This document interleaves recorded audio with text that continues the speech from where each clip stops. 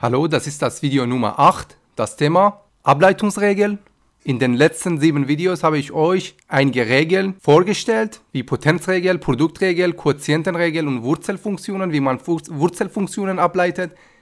In diesem Video möchte ich euch zeigen, wie man Sinus, Cosinus oder Tangens von einer Funktion ableitet. Das ist ganz einfach.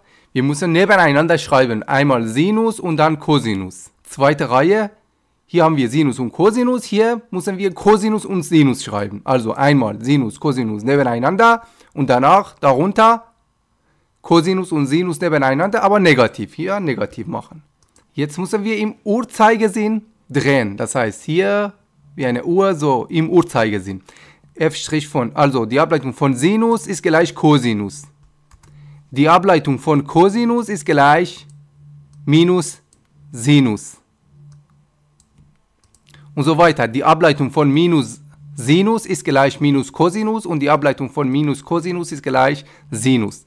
Wir brauchen eigentlich nur diese zwei Regeln. Die Ableitung von Sinus gleich Cosinus. Die Ableitung von Cosinus gleich minus Sinus. Fertig.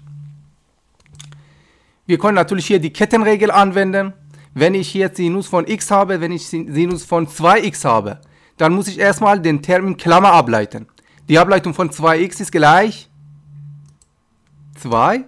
Dann multipliziere ich mit Ableitung von Sinus. Sinus, die Ableitung von Sinus ist gleich Cosinus. Dann schreibe ich hier Cosinus von 2x. Der Winkel ändert sich nicht hier. Wenn ich hier die Ableitung von 3x habe, dann habe ich hier die Ableitung von 3 ist gleich 3. Multipliziere ich mit der Ableitung von Sinus.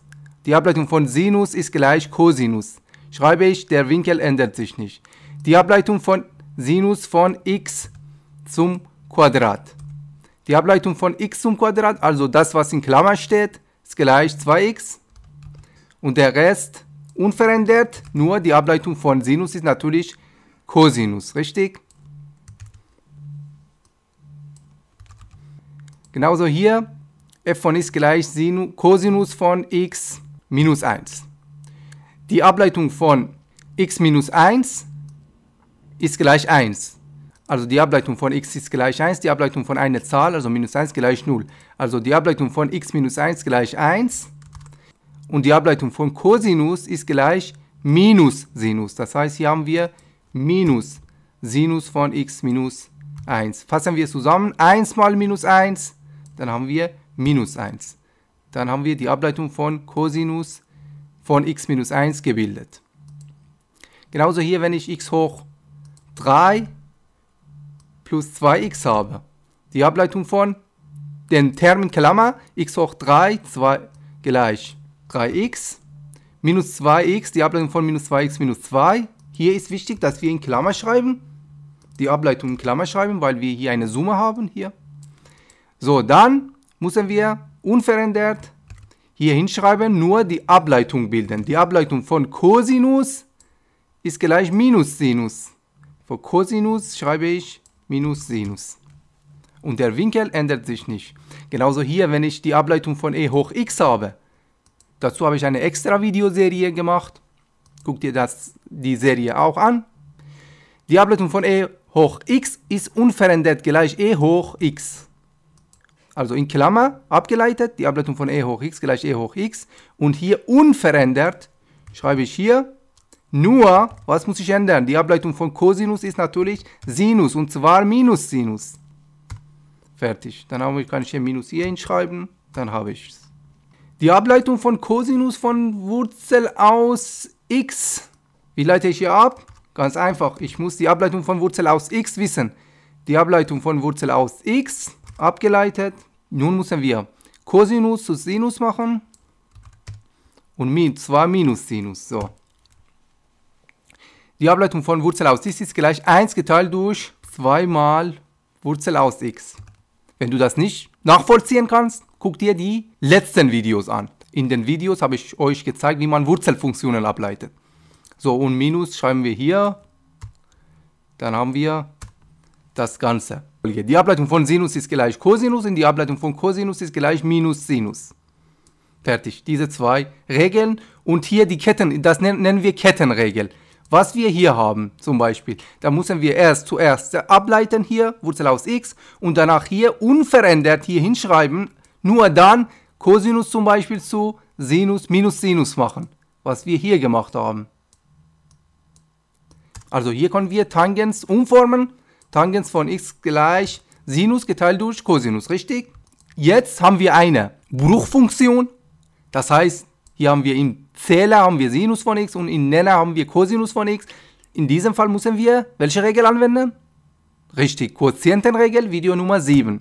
u ist gleich Sinus von x, v ist gleich Cosinus von x. Jetzt leite ich u und v ab. u', wenn du nicht weißt, wie ich hier vorgehe, musst du dir die, das Video Nummer 7 angucken. u' gleich. Also die Ableitung von Sinus ist gleich Cosinus, richtig? U' gleich Cosinus von x. Und die Ableitung von Cosinus ist gleich minus Sinus, richtig? Also v' gleich minus Sinus von x. Jetzt wenden wir die Formel an.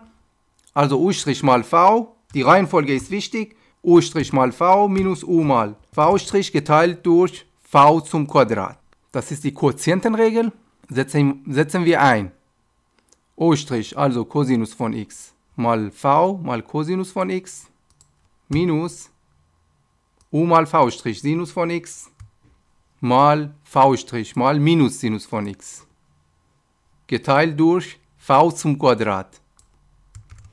Cosinus von x zum Quadrat kann ich so schreiben. So, dann ist einfacher. Cosinus mal Cosinus, Cosinus zum Quadrat, kann ich so schreiben. Sinus minus Sinus mal minus Sinus plus Sinus zum Quadrat, richtig? Minus mal Minus immer plus. Dann haben wir hier plus. Wir wissen, Sinus zum Quadrat plus Cosinus zum Quadrat gleich 1, richtig? Das ist eine Formel. Sinus zum Quadrat plus Cosinus zum Quadrat immer gleich 1. So, Cosinus zum Quadrat. Das ist die Ableitung von Tangens von x. Das ist die Ableitung. Wir können das auch anderes angeben. Zum Beispiel ist gleich 1 plus Tangent hoch 2 von x.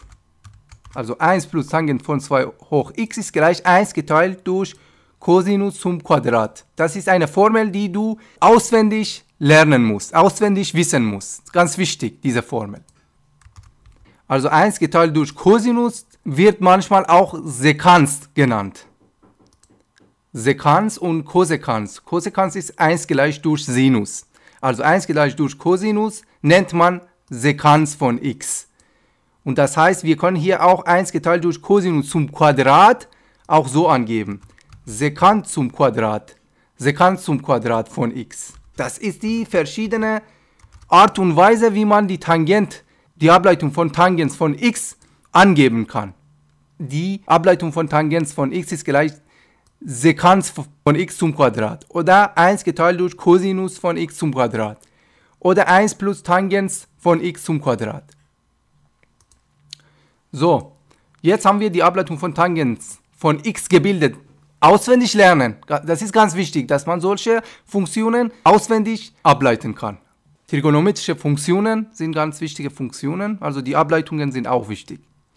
So, jetzt möchte ich eins von euch wissen. Ich möchte Tangens von 2x ableiten. Wie leite ich hier Tangens von 2x ab? Das ist wieder Kettenregel. Du musst nur Klammer, also mach du selber das. Ich denke, du bist in der Lage, das zu machen. Alles Gute. Wir sehen uns im nächsten Video. Ich möchte jetzt diese Regeln, die wir hier bis jetzt, bisher kennengelernt haben, miteinander verbinden. Das heißt, komplizierte Aufgaben, wo wir zum Beispiel nicht nur Kettenregel brauchen, sondern wir auch Kettenregel, Produktregel oder Quotientenregel, eine Kombination von den Regeln brauchen. Und zum Beispiel, wenn wie leite ich zum Beispiel Tangens von 2, hier schreiben wir x plus a, manchmal a, kein 1, sondern eine Zahl zum Beispiel, x minus a. So, wie leite ich hier ab? Beispielsweise. Oder kann man hier machen, nach mir noch eine Wurzel. Hier, wie leite ich hier so ab? Ja, solche Funktionen. Ich kann ja auch das mal, mal e hoch 2x machen. e ist eine e-Funktion. So. Wie leite ich hier ab? Das ist eine Produktregel. Faktor Nummer 1, Faktor Nummer 2. Jetzt verschiedene Funktionen, verschiedene Regeln kommen hier in Einsatz. Das machen wir in den nächsten Videos. Alles klar, deine Aufgabe, Tangent von 2x ableiten.